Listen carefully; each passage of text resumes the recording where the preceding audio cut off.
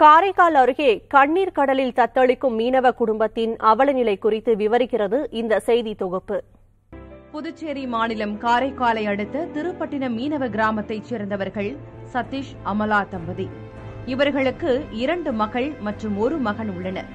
இதில் மூத்த மகள் நதினா நடக்க முடியாமல் சிரமப்பட்டுள்ளார்.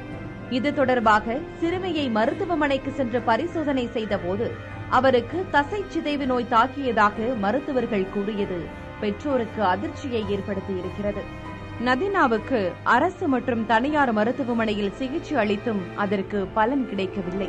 தசை சிதைவு நோய் குணமாகாத நிலையில் பெற்றோருக்கு வேதனையே மிஞ்சியுள்ளது. ஐந்தாம் வகுப்பு படிக்கும் சிறுமி நதினாவை அவரது தாய் அமலா நாள்தோறும் தூக்கிச் சென்று பள்ளியில் விட்டுச் செல்கிறார். இந்த நிலையில் சதீஷ் அமலா தம்பதிக்கு மேலும் அதிர்ச்சி அளிக்கும் விதமாக அவரது இளைய மகள் விகாஷினியும் தசை சிதைவு நோயால் பாதிக்கப்பட்டிருக்கிறார். மூத்த மகளை போன்று இளைய மகளும் நடப்பதற்கு சிரமப்படும் சூழல் இருப்பதால் அந்த மீனவ குடும்பம் தற்போது கண்ணீர் கடலில் தத்தளிக்கிறது. கடன் வாங்கி நிறைய செலவு செய்து விட்டதாக கூறும் தாய் அமலா இரண்டு மகள்களின் சிகிச்சைக்கு புதுச்சேரி அரசு நிதி அளித்து உதவ வேண்டும் என கோரிக்கை விடுத்துள்ளார். இப்போ எனக்கு பசங்க இருக்காங்க. அதில் ரெண்டு பொண்ணுக்கு மஸ்குலர் டிஸ்டர்பன் டிசீஸ் ஒன்று உருவாயிருக்கு. அதில் நதினான்ற பொண்ணுக்கு பத்து வயசு இப்போ. ஸ்கூலுக்குலாம் நல்லா போயிட்டு இருக்காங்க ஆனால் அவங்களால நடக்க முடியாதனால தூக்கிட்டு போக வரலாம் ரொம்ப கஷ்டமாக இருக்குது அதே பிரச்சனையே இன்னொரு பொண்ணுக்கும் சிம்டம்ஸ் தெரியுது. அரசாக ஏதாவது உதவி பண்ணணும்னா கண்டிப்பாக உதவி பண்ணணும். பத்து வயசு.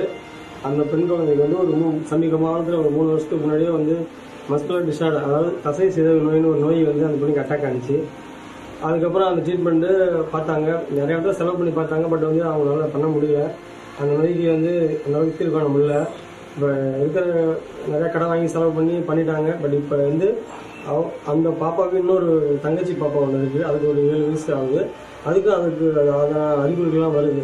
ஸோ இதுக்கு வந்து அந்த கஷ்டப்படுற ஃபேமிலி அது அரசாங்கம் வந்து அந்த குடும்பத்துக்கு ஏதாவது ஒரு நிதி உதவி செஞ்சு அந்த பிள்ளைங்கள எதிர்காலத்தை வந்து எடுத்து கொடுத்தா